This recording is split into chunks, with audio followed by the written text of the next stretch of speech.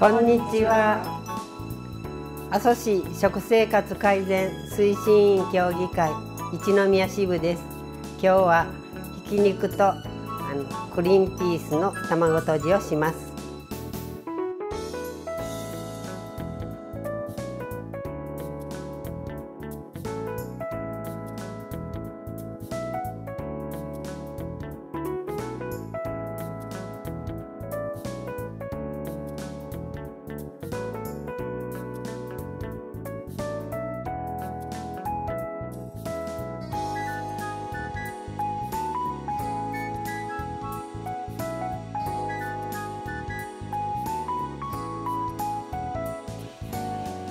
作り方を教えてください。はい、あの一番最初にグリーンピースを茹でます。はい。ちょっと固めにですね茹でます。とアスパラをですね付け合わせるこのぐらいで。立派なアスパラですね。はい、あのもちろん阿蘇市の阿蘇市で今出てますので、でグリーンピースも春らしい材料でもあるので。はい生しいたけを薄切りにしていきます。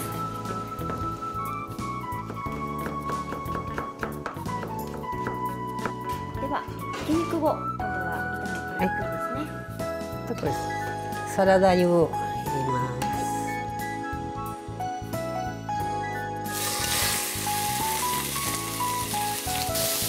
はい、お肉は鶏肉。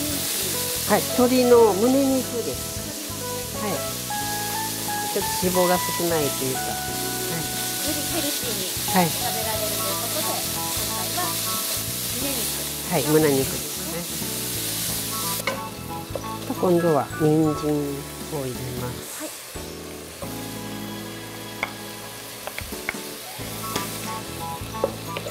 い、人参はちょっと硬いからですね家でされる時はちょっとあの電子レンジで1分ぐらいとちょっと柔らかくなりますのでその方が早いと思いますね。は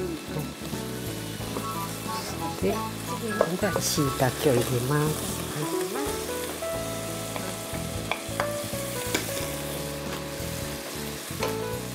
はい、ちりめんじゃこ入れますね。これも一緒に炒めます。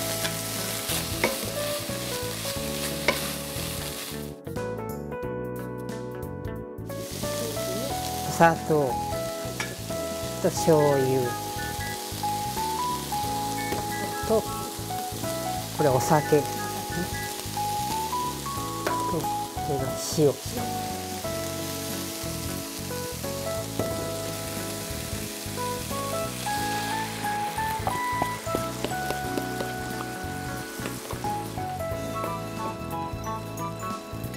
香りがしてきましたね。ちょっとね香ばしい、うん。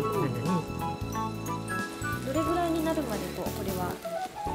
もう大体炒まってるからちょっとまあこうして煮えてきたら一煮立ちしたらいいと思います、はい、で今度はグリーンピースを入れます、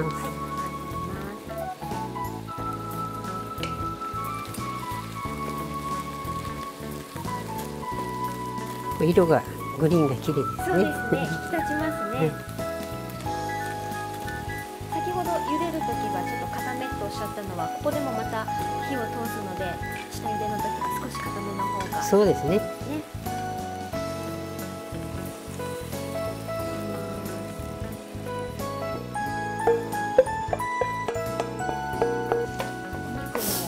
お野菜もちりめんじゃこの魚もたくさんこういろんな材料が入っているので栄養価も高そうですね。そうですね。もうこのぐらい水分が飛んだら。はい少し半熟ぐらい。そうですね。はい。阿蘇特産のアスパラガスがありました。はい。ね。ち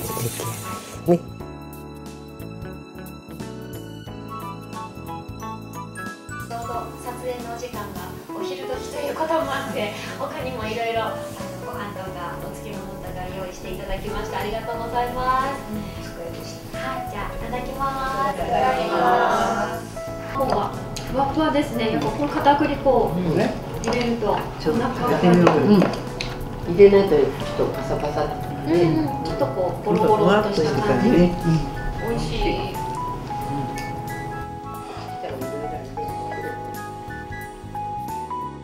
地産地消クッキングでは阿蘇市にある窯元から器を提供していただいています。阿蘇市西小園にある桜心窯は工房前にある見事な桜の古木にちなんで名付けられた工房で暮らしの中で愛され心地よく使ってもらえる陶器作りがテーマです。納屋を改築したギャラリーには女性らしい優しく柔らかな絵付けの作品がずらりと並んでいます。